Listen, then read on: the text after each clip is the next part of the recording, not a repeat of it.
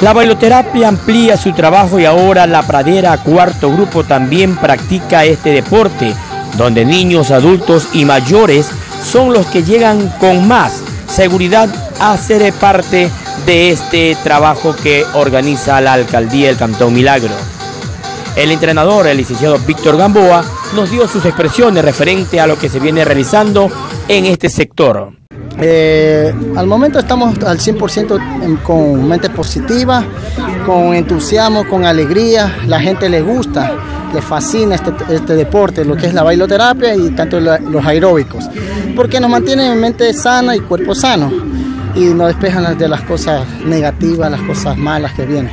Que están tres días a la semana, nos decía el entrenador, y que espera que llegue más gente para poder seguir entrenándoles. Tres tres días a la semana aquí en la pradera. Sí. ¿La gente ha respondido? Sí, bastante ha respondido. La gente le encanta. Tantos niños, jóvenes y adultos mayores. ¿Qué le podemos decir a, los conciudadanos de acá de la pradera, el grupo 1, 2, 3, 4, 5 y 6? Les invito que vengan a distraerse, a divertirse. Esto es una diversión, a, mantenerse en forma. A sacar el estrés. El estrés. Cuando uno está estresado en el trabajo y todo, acá nos venimos a sacar el estrés. No importa edad, ¿no?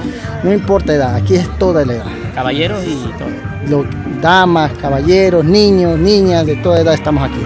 agradeciendo también a la gente de Milagro ese apoyo y, a, y al GAM municipal y a la alcaldesa Denise Robles que están con nosotros. Dos de las personas que llegan a realizar este deporte también indicaron que se sienten bien, puesto esto les ayuda a cuidar su salud.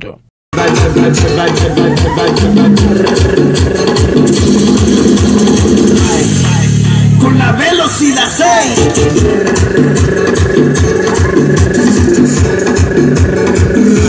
Primera vez. Sí. La cogió como cansadita, ¿no? Claro, que estoy bien gorda. Ya, no, no se preocupe. Lo importante es que ahora tienen ustedes la oportunidad de poder también disfrutar de Hacer mucho porque después me canso. Ya, pero suave, suave. Sí. ¿Qué le recomienda a la gente que está en su casa ociosa en vez de venir a hacer varios Sí, es bueno que vengan porque es para la salud de uno. Las veces, dos veces porque uno no puede. Ya, pero ya tiene tiempo bailando desde que como se inició el, la, la, terapia acá. Bueno, ¿y cómo se siente anímicamente y físicamente? Más o menos. Más o menos. O sea, ¿está la salud recuperándose? Sí, estoy recuperando. ¿Qué le recomendamos a la gente que está en su casa ociosa en vez de venir a bailar acá? No quieren venir. ¿Ya? Les da pereza ahí. Ya, pero usted sí viene, ¿no? Yo sí vengo. Tan solo que no pueda, no vengo. Bueno, dele con fuerza entonces. Gracias. ok.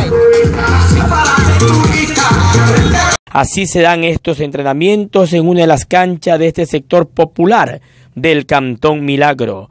Un informe de José Olaya para Telemilagro, Noticiero La Verdad.